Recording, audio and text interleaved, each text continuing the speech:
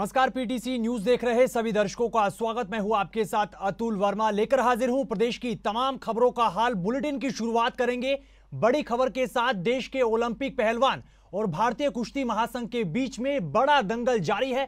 विनेश फोगाट, बजरंग पुनिया, साक्षी मलिक समेत तमाम बड़े रेसलर्स ने जंतर मंतर पर मोर्चा खोल रखा है।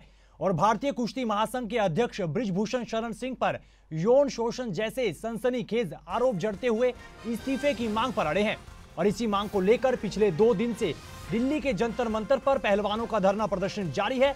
आज धरने का तीसरा दिन है और इस बीच देश के खेल मंत्री अनुराग ठाकुर ने कुश्ती पहलवानों को कल बातचीत के लिए बुलाया, लेकिन बताया ये जा रहा है कि पहलवान पूरी फेडरेशन को भंग करने की मांग पर अड़े हैं। साथ ही डब्ल्यूएफआई के अध्यक्ष ब्रिजभूषण सिंह के इस्तीफे और उनकी गिरफ्तारी की भी मांग की जा रही है। और इस खबर पर ज़्यादा जानकारी के लिए मेरे सहयोगी धर्म प्रकाश फ़ोन लाइन पर मेरे साथ जुड़ रहे हैं। धर्म किस तरीके से देखते हैं? धरना प्रदर्शन अब और तेज हो चला है। कल खेल मंत्री से भी मुलाकात की पहलवानों ने, लेकिन पूरी फेडरेशन को भंग करने की मांग यहाँ पर की जा रही है। क्या ये जो मांग है, वो पूरी हो सकती है? कैसे देखते हैं? देखिए मांग पूरी करने के लिए कोई मुश्किल नहीं है क्योंकि केंद्र सरकार और खेल मंत्रालय और अनुराग ठाकुर से मुलाकात के बाद जिस तरह से चीज़ें निकल कर आ रही हैं तो लगता है कि अगर सरकार चाहे तो ये कर भी सकती है। लेकिन इसमें सबसे बड़ी दिक्कत ये है कि इससे एक मैसेज गलत जाएगा एक छवि न सिर्फ़ कुश्ती संघ की खराब होगी बल्कि खेल मंत्रालय पर भी सवाल उठेंगे कि अगर सच में कुछ गलत हो रहा था तो अभी तक खेल मंत्रालय और कुश्ती संघ ने इस पर कुछ एक्शन क्यों नहीं लिया? तो ये एक वजह हो सकती है कि फ़िलहाल के लिए पूरे के पूरे महासंघ को भंग करने का फैसला शायद सरकार ना ले लेकिन ये ज़रूर है कि इस मसले पर डिस्कशन अभी और होनी है चर्चाएँ अभी और होनी है और आने वाले दिनों में आ, हो सकता है कि कोई बड़ा फैसला इस पर लिया जाए। अभी 22 तारीख को एक आपातकालीन बैठक ज़रूर बुलाई गई है कुश्ती महासंघ की तरफ़ से और जिसमें ब्रिजभूषण शरण खुद भी शामिल होंगे और पहले सूत्रों के हवाले से ये खबर आ रही थी कि इस बैठक के दौरान वो अपना इस्तीफे की पेशकश ज़रूर कर सकते हैं। लेकिन कल शाम को जिस तरह से उन्होंने अपनी सफ़ाई दी है अपने खुद पर लगे इन आरोपों को लेकर जो प्रतिक्रिया दी है साफ़ तौर पर उन्होंने कहा है कि उन्होंने कुछ भी गलत किया नहीं है। पिछले 12 साल से उन पर कोई सवाल नहीं उठे हैं और एक बार फिर से साजिश उनके खिलाफ की जा रही है। ब्रजभूषण शरण ने यह भी कहा है कि वो इस्तीफा तो बिल्कुल नहीं देंगे लेकिन मंत्रालय या सरकार से हाईकमान से उन्हें जिस तरह के आदेश होंगे उनको वो फॉलो ज़रूर करेंगे। लेकिन खुद की तरफ़ से वो इस्तीफा बिल्कुल नहीं देंगे। ये उन्होंने एक एक प्रॉपर स्टैंड एक स्ट्रॉन्ग स्टैंड अपनी तरफ़ से लिया है। दूसरी तरफ़ इसको एक फैक्टर इसमें ये भी है कि हरियाणा की राजनीति से भी जोड़कर देखा जा रहा है। क्योंकि ब्रिजभूषण शरण का अगर आपने स्टेटमेंट सुना है तो उन्होंने ये भी कहा था कि दीपेंद्र हुड्डा जो हरियाणा से सांसद है उनकी तरफ़ से ये साजिश रची गई है। और इस साजिश के ज़रिए हरियाणा के जो इलेक्शन 2024 में होने हैं उनको टारगेट करने की कोशिश की जा रही है। जी, जी. तो पॉलिटिकल सिनारियो एक तरह से ब्रजभूषण शरण इस मामले में लेकर आ रहे हैं लेकिन दूसरी तरफ़ जो प्लेयर्स हैं जो खिलाड़ी हैं और खिलाड़ी भी कोई ऐसे वैसे नहीं है ओलंपियन है एशियन गेम्स के विनर्स हैं साक्षी मलिक हो विनेश फोगाट हो रवि दहिया बबीता बजरंग पूनिया जितने भी ये प्लेयर्स हैं इनकी तरफ़ से जो आरोप लग रहे हैं वो बड़े अहम है गंभीर है और ना सिर्फ़ ब्रजभूषण शरण पर आरोप लगे हैं बल्कि पूरे के पूरे कुश्ती महासंघ बिल्कुल बिल्कुल उनकी पूरी कार्यप्रणाली पर सवाल उठाए हैं जिसको लेकर ये धरना तीन दिनों से चल रहा है। चलिए धर्म बहुत बहुत शुक्रिया तमाम जानकारी हमारे दर्शकों के साथ साझा करने के लिए। तो ज़ाहिर तौर पर फेडरेशन को लेकर क्या फैसला यहाँ पर लिया जाएगा? ज़ाहिर तौर पर मुलाकात कल ज़रूर की यहाँ पर। खेल मंत्री अनुराग ठाकुर से पहलवानों ने लेकिन अभी भी उसी मांग पर अड़े हैं। फेडरेशन को पूरे तरीके से भंग किया जाए। साथ ही जो डब्ल्यूएफआई के अध्यक्ष हैं ब्रिजभूषण शरण उनकी गिरफ्तारी हो उनसे इस्तीफा लिया जाए। तो ये मांग कहीं ना कहीं खिलाड़ियों की है जंतर मंतर पर। जो मोर्चा है, वो पहलवानों ने खोल रखा है। आज जंतर मंतर पर धरने प्रदर्शन का तीसरा दिन है और आज देखने वाली बात होगी कि क्या कुछ फैसले और क्या कुछ एक्टिविटी खिलाड़ियों की तरफ़ से रहने वाली। तो भारतीय कुश्ती महासंघ को लेकर बड़ा बवाल मचा हुआ है। दिल्ली के जंतर मंतर पर देश के ओलंपिक पहलवानों का धरना प्रदर्शन जारी है। इससे पहले कल खेल मंत्रालय के सामने भी कुश्ती खिलाड़ियों ने पूरा मामला रखा और ब्रिजभूषण शरण सिंह के इस्तीफे की मांग की। लेकिन मीटिंग के बाद प्रेस कॉन्फ्रेंस में खिलाड़ियों ने बताया कि उन्हें खेल मंत्रालय से अभी सिर्फ़ आश्वासन ही मिला है और वो उससे संतुष्ट नहीं है। इस बीच कुश्ती पहलवानों ने बड़ा फैसला लेते हुए जानकारी दी कि जब तक हमारी मांगे नहीं मानी जाएँगी, तब तक कोई भी पहलवान किसी भी इवेंट में हिस्सा नहीं लेगा और जंतर मंतर पर धरना प्रदर्शन यूँ ही जारी रहेगा। जो बोल रहे थे कि कोई सामने आ जाए तो मैं फांसी पे लटक जाऊँगा, जो अध्यक्ष जी ने हमारे ने एक बयान दिया था। पहले तो एक दो लड़कियाँ थी, अब हमारे साथ पाँच से छह लड़कियाँ हैं। विद प्रूफ हैं। तो ऐसी चीज़ नहीं कि हम झूठ बोल रहे हैं या कोई ऐसा ही। अगर अगर सुनवाई नहीं होगी तो हम पुलिस का सहारा भी लेंगे, केस का सहारा भी लेंगे, केस करके हम आगे बढ़ेंगे। हमारा मकसद यही है, हमारी कुश्ती को दोबारा से जीवित करवाना है। आप सबके सामने ही हम गए थे बात करने के लिए।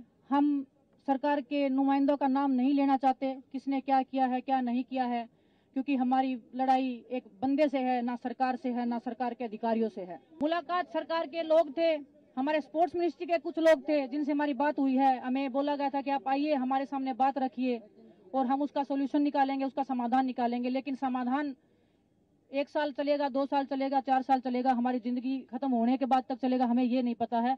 हमें आश्वासन इतना दीजिए कि कल हो जाएगा परसों हो जाएगा नरसों हो जाएगा। मीटिंग अभी मीटिंग में सिर्फ़ आश्वासन ही दिया गया है ऐसा कोई ठोस हमें नहीं अ, बताया गया कि हाँ हम कोई ठोस कदम लेंगे या कोई एक्शन लेंगे बस आश्वासन दिया गया है। अ, लेकिन उस आश्वासन से हम खुश नहीं हैं। हम, जैसा कि बजरंग ने बताया, हम पूरी रेसलिंग फेडरेशन का, को भंग करवाना चाहते हैं और जितनी भी स्टेट्स हैं, वहाँ भी सबकी फेडरेशन मतलब रेसलिंग फेडरेशन जो है वो भंग होनी चाहिए। एक नई शुरुआत होनी चाहिए, एक फ्रेश स्टार्ट होनी चाहिए। और वहीं द्रोणाचार्य अवार्डी और दंगल गर्ल के पिता महावीर सिंह फोगाट ने इस पूरे मामले पर अपनी प्रतिक्रिया दी है। महावीर सिंह फोगाट ने कहा कि डब्ल्यूएफआई के अध्यक्ष ब्रिजभूषण सिंह सरकार में पहुँच का फ़ायदा उठाते हैं। उन्होंने कहा कि ब्रिजभूषण शरण ने हरियाणा और हरियाणवी पहलवानों के साथ हमेशा भेदभाव रखा है। हमेशा ही कुश्ती की नेशनल जो प्रतियोगिताएँ अपनी सुविधा और लालच में ऐसे स्थान पर कार्रवाई जहाँ तक खिलाड़ी पहुँच भी नहीं पाते थे। उन्होंने कहा कि विनेश फोगाट ने ब्रिजभूषण शरण की हरकतों को लेकर अपनी माँ से सबसे पहले चर्चा की थी और अपनी माँ को उन्होंने पूरी आपबीती बताई भी थी। इस तरीके की हरकतें करना, उन्होंने कहा, पूरे तरीके से गलत है और ब्रिजभूषण सिंह पर बनती कार्रवाई ज़रूर होनी चाहिए। बिल्कुल जो आरोप लगाए सत्य हैं और निष्पक्ष जाँच एजेंसी से इसकी जाँच होनी चाहिए। और जो गलती अगर झूठे आरोप होते तो आज या लड़की यहाँ बैठी थी और जब इनका जो कहीं ज़रूरत पड़ी तो जिस लड़की में जो बीतती है वो अपने आप वहीं बता देगी। नहीं हमारे घर से हमारी बात नहीं हुई। आज तो सिर्फ़ विनेश की बबीता की नहीं बात हुई मेरे से कोई बात नहीं हुई। जी सरकार ने भी आश्वासन दिया है आज बिल्कुल पूरा भरोसा है। सरकार नौ बजे जो बुला रखे हैं और मुझे पूरी आस उम्मीद है सरकार बढ़िया फैसला लेगी। और इधर दिल्ली महिला आयोग की अध्यक्ष स्वाति मालीवाल ने भी इस पूरे मामले पर अपनी प्रतिक्रिया दी है। उन्होंने इस दौरान क्या कुछ कहा? चलिए आपको सुनाते हैं। 24 घंटे से ज़्यादा हो गए हैं कि हमारे ओलंपिक एथलीट्स जंतर मंतर पर धरना कर रहे हैं। जब यही एथलीट्स देश के लिए मेडल लाते हैं तो सारे के सारे नेता लाइन लगाकर इनके साथ फ़ोटो खिंचाते हैं। पर आज जब ये बहुत बहादुरी दिखाकर रेसलिंग फेडरेशन ऑफ़ इंडिया के प्रेसिडेंट जो कि एक सांसद भी हैं, उनके खिलाफ सेक्सुअल हैरेसमेंट की कंप्लेंट करते हैं तो कोई इनकी सुध नहीं लेता। मेरे पाँच सवाल हैं दिल्ली पुलिस और स्पोर्ट्स मिनिस्टर से। सबसे पहले तो ये बताएँ, अभी तक एफआईआर क्यों नहीं दर्ज हुई? और ये आदमी ब्रिज भूषण शरण, इसको अभी तक अरेस्ट क्यों नहीं करा गया? दूसरी बात, अभी तक ये आदमी कई सालों से, तेरह से ज़्यादा सालों से रेसलिंग फेडरेशन ऑफ़ इंडिया का प्रेसिडेंट बना हुआ है। इतने बड़े बड़े आरोप लग गए और फिर भी अभी तक इसका रेजिग्नेशन नहीं माना गया। तो इसका रेजिग्नेशन तुरंत लेना चाहिए और इसके ऊपर स्पोर्ट्स मिनिस्ट्री क्या कर रही है? तीसरी बात, क्या स्पोर्ट्स मिनिस्ट्री में कोई इंटरनल कंप्लेंट्स कमेटी नहीं है? अभी तक इन सारे आरोपों के ऊपर जाँच क्यों नहीं शुरू करी गई? चौथी बात स्पोर्ट्स मिनिस्टर या उनका कोई सीनियर रिप्रेजेंटेटिव कब मिलने आ रहा है इन सारे के सारे खिलाड़ियों से जंतर मंतर पर? और पांचवी बात, इन सारे खिलाड़ियों ने बहुत बड़े सवाल उठाए हैं कि कैसे स्पोर्ट्स के अंदर एथलीट्स के साथ बहुत बड़े लेवल पे सेक्सुअल हैरेसमेंट हो रहा है। और इधर फोगाट खाप की अगुवाई में बड़ी संख्या में खाप पंचायतें और अन्य संगठन आज दिल्ली के जंतर मंतर के लिए कूच करने जा रहे हैं। आज दोपहर करीब 12 बजे दादरी में खाप पंचायतें लामबंद होंगी और उसके बाद दिल्ली में जंतर मंतर के लिए रवाना होंगी तमाम खाप पंचायतें और अन्य संगठन। देश के कुश्ती पहलवानों के समर्थन में सर्व खापों ने पंचायत कर आर पार की। जो लड़ाई है वो उसका फैसला यहाँ पर किया है। इससे पहले फोगाट खाप के जो प्रधान बलवंत फोगाट ने हरियाणा की पंचायतों से, खापों से इस पूरे मामले में समर्थन भी मांगा। तो ब्रेक के बाद आपका एक बार फिर से स्वागत है। खबरों में आगे बढ़ेंगे। जंतर मंतर पर बैठे देश के ओलंपिक खिलाड़ियों के समर्थन में उतरे कांग्रेस नेता अशोक अरोड़ा ने अपनी प्रतिक्रिया दी है। उन्होंने कहा कि बड़े ही दुर्भाग्य की बात है कि जिन बेटियों ने पूरे विश्व में हरियाणा का परचम लहराया, देश का परचम लहराया, वो ही आज दिल्ली के जंतर मंतर पर धरने प्रदर्शन को मजबूर है। अशोक अरोड़ा ने कहा कि जिन बेटियों ने कुश्ती महासंघ के अध्यक्ष पर आरोप लगाया है उसकी पूरे मामले की सीबीआई जाँच होनी चाहिए और उन पर मामला भी दर्ज होना चाहिए। उन्होंने कहा कि सत्ताधारी दल से जुड़े होने के कारण कुश्ती संघ के अध्यक्ष के खिलाफ कोई जाँच नहीं हो रही और ना ही कोई एफआईआर दर्ज की जा रही है। अरोड़ा साहब जिन बेटियों ने पूरे विश्व में डंका बजाया हरियाणा का पूरा परचम लहराया आज वो बेटियाँ आँखों के आँसू रो रही हैं। बहुत दुर्भाग्यपूर्ण बात है। कि जिन बेटियों ने ना केवल हरियाणा का बल्कि भारत का परचम पूरी दुनिया में लहराया और आज वो धरने पे बैठी हैं, वो कुछ मांग नहीं रही हैं सरकार से। वो ये कह रही हैं कि जो हमारा हॉकी संघ का अध्यक्ष है, जो लोकसभा का या राज्यसभा का मेंबर भी है, मेंबर पार्लियामेंट है, उनके ऊपर आरोप लगा रही हैं कि वो लोगों को यौन उत्पीड़न करता है, तंग करता है। तो इस प्रकार के आरोप बेटियाँ जब लगाएँ तो सरकार को तुरंत निर्णय लेना चाहिए। केवल बेटी पढ़ाओ बेटी बचाओ का नारा देने से बेटियाँ नहीं बचेंगी। जिन बेटियों ने देश का नाम रोशन किया है उनकी उन्होंने आरोप लगा रहे हैं तो निश्चित रूप से इसकी जाँच सीबीआई से करनी चाहिए और जो दोषी हैं उनके खिलाफ कार्रवाई कर आपने खुद देखा होगा आज मीडिया में भी छपा वो बेटियाँ रो रही हैं आँसू टपक रही हैं उनको न्याय नहीं मिल रहा है और सीधा सीधा आरोप कुश्ती संघ के अध्यक्ष पर लगाई जा रही है। मैं कह रहा हूँ कि ये बड़ी निंदनीय बात है बड़ी दुर्भाग्यपूर्ण बात है। कि बेटियों को धरने पे बैठना पड़े। वैसे तो कहा जाता है कि अगर बेटी कोई एप्लीकेशन भी दे तो पहले एफआईआर करो, बाद में जाँच करो, क्योंकि वो सत्ताधारी दल से जुड़ा हुआ है, ना उसके खिलाफ जाँच हो रही है, ना एफ़ हो रही है, ऐसे ही हरियाणा में हो रहा है। और इधर रोहतक में भी कई संगठन देश के पहलवानों के समर्थन में उतरे हैं, और डब्ल्यूएफआई के अध्यक्ष ब्रिजभूषण शरण सिंह के खिलाफ विरोध प्रदर्शन किया है। जनवादी महिला समिति की जिला अध्यक्ष ने कहा कि भारतीय कुश्ती महासंघ के अध्यक्ष और बीजेपी सांसद पर महिला खिलाड़ी ने यौन शोषण के आरोप लगाए हैं और इसकी जाँच होनी चाहिए। भारतीय कुश्ती महासंघ के अध्यक्ष की करतूतें हमारे खिलाड़ियों ने ही सामने लाई हैं और हम खिलाड़ियों के समर्थन में हैं। उन्होंने कहा कि सत्ता में बैठे लोगों द्वारा ऐसे लोगों को बचाने की कोशिश की जा रही है, लेकिन इसका पुरजोर विरोध किया जाएगा। रेसलिंग एसोसिएशन के जो अध्यक्ष हैं, ब्रिजभूषण शरण सिंह जी, उनकी ऐसी ज़बरदस्त हरकत जो हमारे खिलाड़ियों ने सामने लाई है।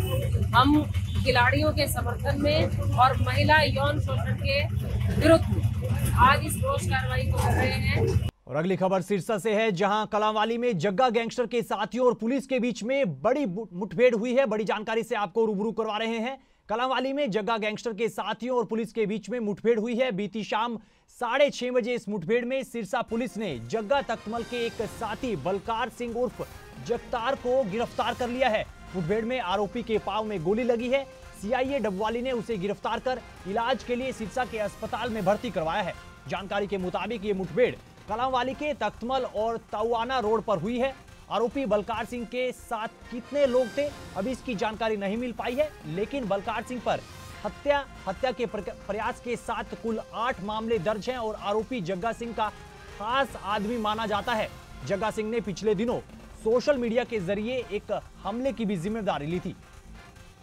तो ब्रेक के बाद आपका एक बार फिर से स्वागत है। खबरों में आगे बढ़ेंगे और अब बात करेंगे गुरुग्राम पुलिस की, जहाँ गुरुग्राम पुलिस ने अवैध हथियारों के साथ एक ऐसे आरोपी को गिरफ़्तार किया है जो पहले कबाड़ी का काम करता था। लेकिन गुरुग्राम पुलिस ने आरोपी की निशानदेही पर अवैध रूप से रखे गए पाँच हथियार बरामद कर लिए हैं। जानकारी के मुताबिक गुरुग्राम पुलिस की गिरफ्त में खड़ा ये शख्स अवैध हथियारों का सप्लायर है, जो पिछले काफ़ी समय से देसी कट्टे बेचने की फिराक में था। सिकंदरपुर मेट्रो स्टेशन के पास से पुलिस ने इस आरोपी को गिरफ़्तार किया है। पुलिस ने इसके पास से एक अवैध हथियार भी बरामद किया है। पुलिस पूछताछ में आरोपी ने कबूला कि उसके पास कुछ और भी हथियार हैं, जो उसने गाँव खोरी में एक जगह पर छिपा कर रखे हैं। हमारी क्राइम टीम सिकंदरपुर के इंचार्ज इंस्पेक्टर मनोज वर्मा के नेतृत्व में टीम ने काम करते हुए एक व्यक्ति इंफॉर्मेशन के आधार पर, एक व्यक्ति को सेक्टर तीस पार्क से उसको काबू करके और उससे एक अवैध हथियार बरामद किया गया, जिसकी पहचान मोहम्मद अजरुद्दीन के रूप में हुई। अभी तक की जो हमने पूछताछ की है उसमें इस तरह की जानकारी तो सामने नहीं आई है कि इस इन हथियारों को प्रयोग करके इसने कहीं लूटपाट करनी थी। उस सारे चीज़ों को मद्देनजर रखते हुए इसमें इन्वेस्टिगेशन की जा रही है और अगर ऐसी भी कोई चीज़ें सामने आई तो वो भी कार्रवाई ज़रूर की जाएगी।